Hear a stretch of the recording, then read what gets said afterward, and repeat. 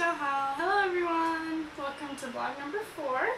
Um, today is September 5th, 2015. And I was just going to let you know about what happened last week.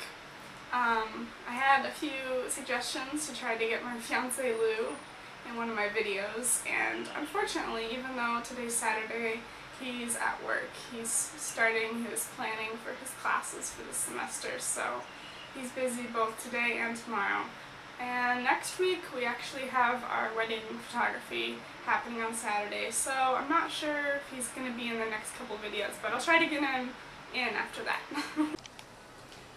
hey everyone, sorry for the change of position. Um, I took my tripod down already and I went to my computer to look at the clips that I filmed and I was so horribly ungraceful that I couldn't even show you guys. So I'm here to refilm what I just said.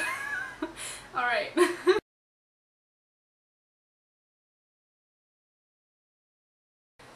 some of the things you can find at Hefang Jie, um, there's lots of traditional Chinese crafts.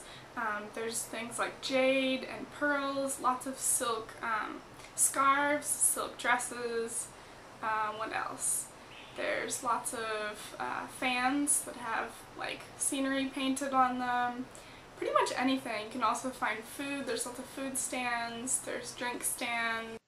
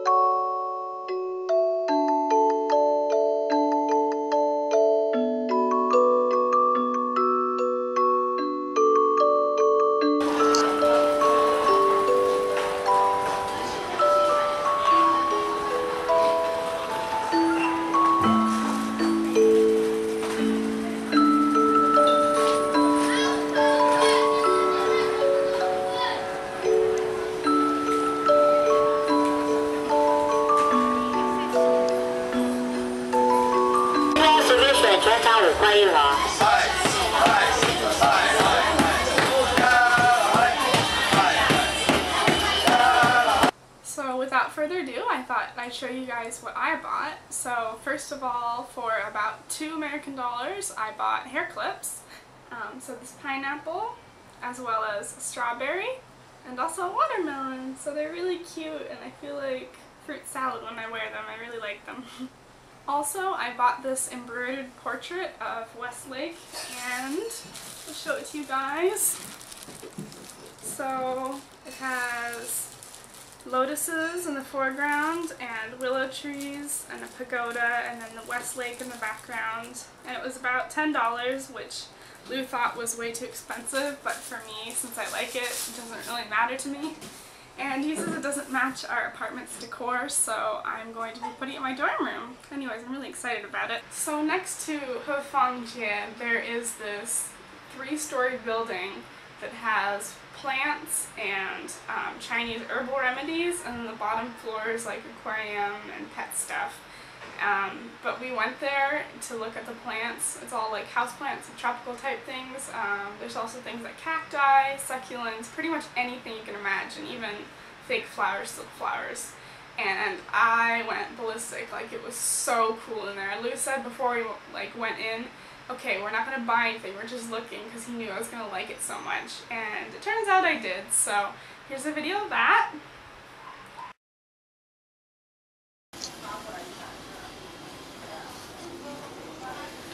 We have just gone into a plant market in Hangzhou.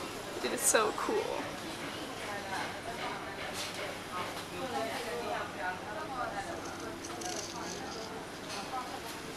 There's like every plant in the universe here.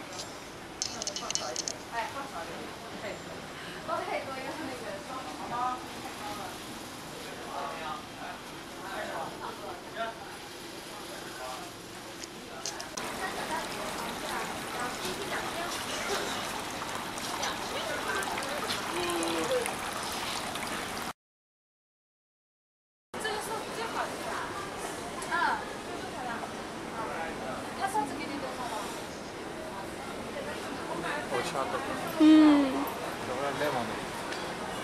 そうね。